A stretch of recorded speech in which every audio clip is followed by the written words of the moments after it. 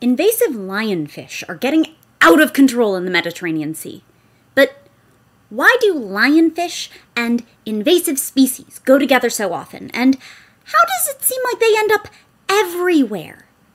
Well, because our oceans don't just contain lionfish, they may contain science. Lionfish, shown here being extremely pretty, are a genus of predatory fish from the Indo Pacific ecos- ocean ecosystem. That ecosystem is an absolute biodiversity powerhouse. It has double the number of fish species compared to the next richest marine region, the Western Atlantic, and the tropical coral triangle contains ecoregions with the highest species richness of anywhere in the world. So, lionfish is from the Amazon rainforest of the sea, with all the biodiversity and ecological competition that implies. In fact, in its home region, the lionfish isn't some ultra powerhouse. With so many species, there are quite a few predators there that can eat adult lionfish, and there may be even more that eat lionfish eggs or juveniles. All of that is to say, the lionfish in its home region is a little fish in a big pond. Okay, uh, the cliche is on the nose, but seriously, the lionfish is nothing special at home. But it turns out that what it's really special at is being an invasive species, because wow, is it good at it! The first glimpse we saw of the lionfish's unfortunate talent has been in the Western Atlantic folklore would tell you the lionfish was introduced to the region in 1992 when Hurricane Andrew knocked over a waterfront aquarium in Miami and six lionfish escaped into the bay.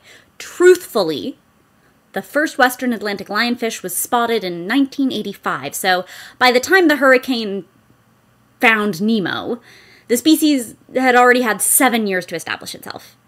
These days, people think the most likely vectors, according to ecologists at the National Oceanic and Atmospheric Administration Center for Coastal Fisheries and Habitat Research, were people in the aquarium trade who released fish or eggs into the wild. Thanks, humans. So, the lionfish, from one of the most try hard ecosystems in the ocean, have been absolutely wrecking house once introduced to the comparatively more casual Western Atlantic and Caribbean sea regions. Not like objectively casual. Remember, the Western Atlantic contains the second highest marine species richness, but there are still way fewer candidates of predator species to challenge the lionfish than in its native range, and a constellation of traits make the lionfish particularly effective at being invasive. One is that it's a generalist predator. You can drop them into a new ecosystem, then they'll probably find something they'll eat, like a hungry kid at a food court. The second thing is that it is hard to prey upon. Those pretty spikes are full of venom, which they use as defense against predators who want to try any funny business.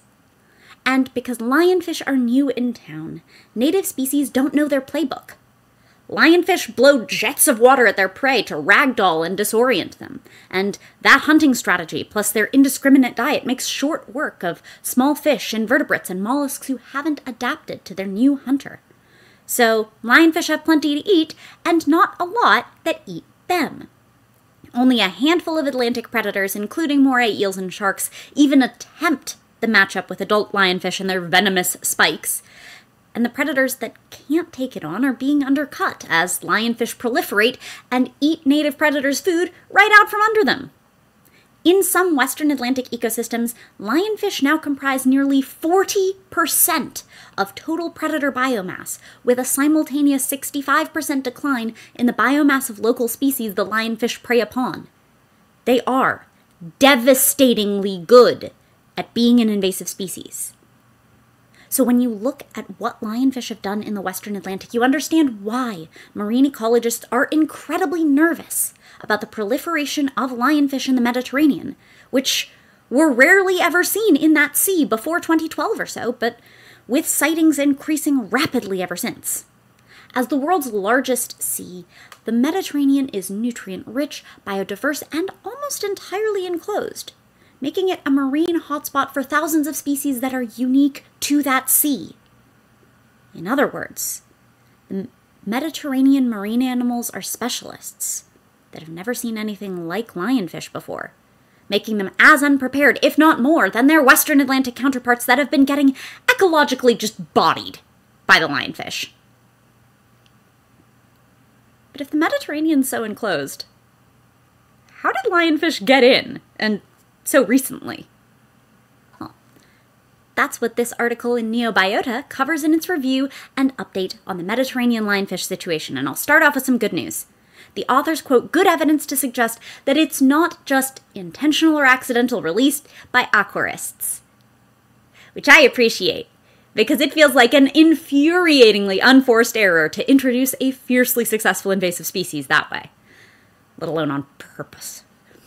But in the case of the Mediterranean lionfish, most sightings have been in the eastern Mediterranean and of one specific lionfish species, Pterois miles. By contrast, the western Atlantic has multiple different lionfish species, presumably from their multiple introductions, and none of those species are closely related to the lionfish menacing the Mediterranean right now.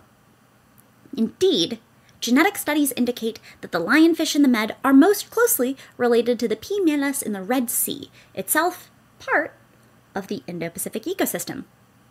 That is, Mediterranean lionfish seem to predominantly be from the closest native lionfish habitat to the Mediterranean. So again, how did they get in? The Suez Canal. Prior to its construction in 1869, the only oceanic waterway in and out of the Mediterranean was the narrow Strait of Gibraltar that connects the Mediterranean to the eastern Atlantic. Those limitations limit species migration in and out of the Mediterranean, but it also limited human traders, so the canal was constructed to allow for a shipping lane across the Mediterranean to the Indian Ocean through the Red Sea. That saltwater passage between Mediterranean and Red Seas has allowed for the movement of species between the two waters. But if the Suez Canal opened in 1869, how come lionfish are only becoming a problem now? Well, because at first, there wasn't a whole lot of species exchange coming through the Suez for a few different reasons. For one, when the Suez Canal opened, it started water flowing through a dry salt valley called the Great Bitter Lake.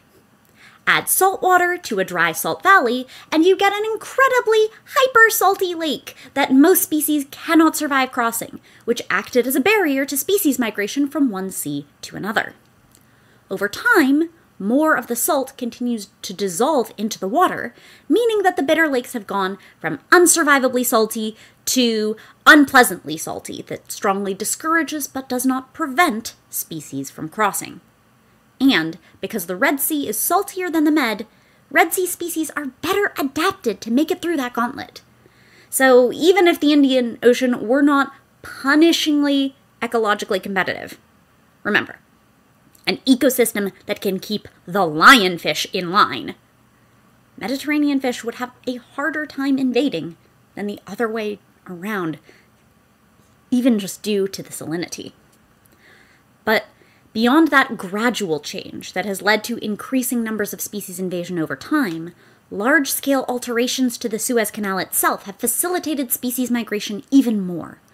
Projects in the late 20th century have expanded the canal on multiple occasions, and in 2014 through 2015, Egypt undertook an expansion of the Suez Canal, deepening it and widening it to allow for two way traffic along part of the route and to enable larger vessels to pass through maybe sometimes too large. Widening the Suez naturally enhances flow between the two seas, and while lionfish were seen in the Mediterranean before the 2015 Suez expansion project, their numbers have very much accelerated since, alongside many other Red Sea species invading the eastern Mediterranean.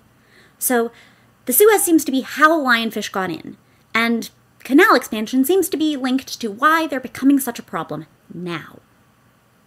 Then, if we know the how and the why, we next gotta ask how bad is the problem? To answer that, our marine ecologists turned to a group of experts who are often in position to observe the marine ecosystems, who track the same sites repeatedly and then can therefore identify changes over time, and have super strong feelings about invasive lionfish. I'm talking about scuba divers. Imagine a druid who loves all of nature, trains to spend lots of time in it, takes great care not to disturb it, and yet hates the ever living guts out of this one effing fish in particular. That's the closest I can come to describing scuba divers in the Western Atlantic and Mediterranean when it comes to lionfish. Divers in good standing will not so much as rest their hand on a rock or coral while underwater, lest they inadvertently harm an organism there. And yet, those same beautifully cautious, respectful people have also started organizations like, and this is real, the Fraternal Order of Lionfish Slayers. Or fools to train and support divers to safely and ethically catch invasive lionfish to mitigate their catastrophic effects on local ecosystems.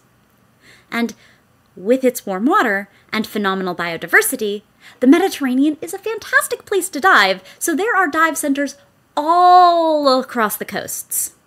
In 2021, researchers contacted those dive centers across the Mediterranean asking, Have any of your people spotted lionfish? Because again, people who run dive centers are going to the same sites over and over again, and if they come across a lionfish, they're going to tell you about it. Now, two years later, the authors of our recently published paper followed up with those same dive centers as the 2021 paper, asking, Well, how about now? You seen them? Even in just two years, the 2023 results on top indicate dive centers in new areas reporting lionfish sightings compared to the bottom map in 2021. And the farther west, the more recent the observed sightings. Here, our researchers asked divers what year the first lionfish sighting was at their dive center, with darker dots indicating more recent sightings lionfish appearances in the Aegean, the Western Ionian, and the Adriatic Seas are mostly within the last two years. So lionfish seem to be repeating their playbook in the Western Atlantic all too well, at the expense of ecological keystone species and sustainable populations of marine food stocks. So, what's an ecosystem to do? Well, we know that lionfish are kept in line on their home turf, but we don't actually know much about the natural predators that keep it that way. What's sure is that the Western Atlantic and Mediterranean simply field fewer predators that can challenge the adult lionfish, but again, much less is known about predation on lionfish eggs or juveniles. After all, you don't have to worry about the venomous spikes of an adult lionfish. If you eat the thing before it's old enough to grow venomous spikes, and with species that are super threatening as adults, preying on the young form is often what keeps the population in check.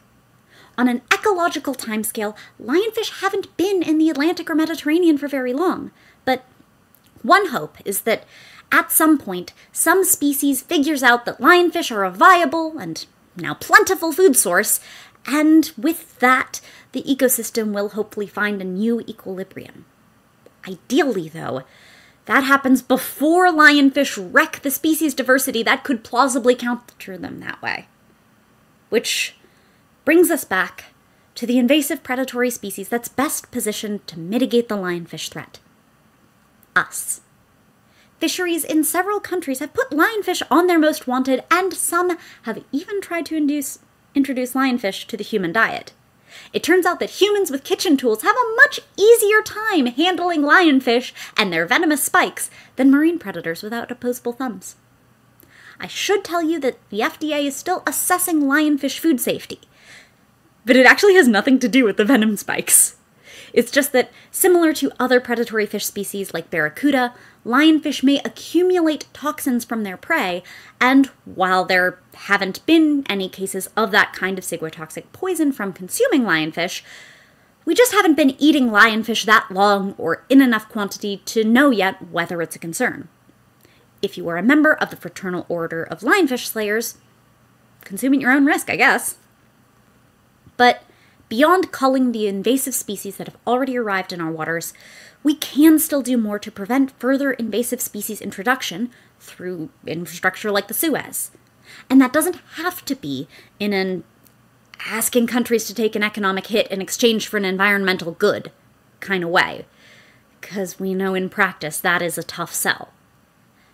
But there are some ideas. As Egypt builds desalination plants to increase its drinkable water supply, that tends to leave a lot of super salty byproducts. You know, the stuff you've just removed to make the water drinkable. Usually, the disposal of those products is an environmental problem that makes areas in- uninhabitable for nearby marine life, but in this case, that could actually be used for good. Some scientists and policy analysts have proposed using the briny byproducts of desalination to return salinity to the bitter lakes, restoring their role as a super salty gatekeeper to minimize species invasion from the Red Sea to the Med Sea. Altogether, the lionfish is from a competitive biome and it is both adaptable and hard to prey on, so when they are introduced to less fearsome ecosystems than their home turf, they understandably become super successful. Genetic data indicate that lionfish in the Mediterranean likely came through the Suez Canal, which has become more amenable to invasive species migration as the crossing becomes both larger and more survivable, and recent data indicate that lionfish are expanding westward across the Mediterranean. But fortunately, people like researchers and fishers are all incredibly invested in preventing the newly introduced lionfish from becoming an entrenched problem. And there's an array of tools to address the problem and hopefully prevent similar introductions in future. And that's something all st- these stakeholders can get behind, especially divers. F those lionfish.